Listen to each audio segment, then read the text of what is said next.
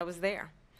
And on that day, the President of the United States incited a violent mob to attack our nation's Capitol, to desecrate our nation's Capitol. On that day, 140 law enforcement officers were injured, and some died. And understand, the former president has been indicted and impeached for exactly that reason. But this is not an isolated situation. Let's remember Charlottesville, where there was a mob of people carrying tiki torches, spewing anti Semitic hate.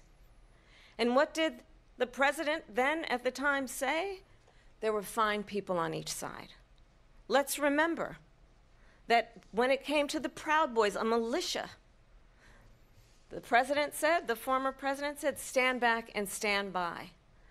So, for everyone watching who remembers what January 6th was, I say we don't have to go back. Let's not go back. We're not going back. It's time to turn the page. And if that was a bridge too far for you, well, there is a place in our campaign for you to stand for country, to stand for our democracy, to stand for rule of law, and to end the chaos, and to end the approach that is about attacking the foundations of our democracy because you don't like the outcome.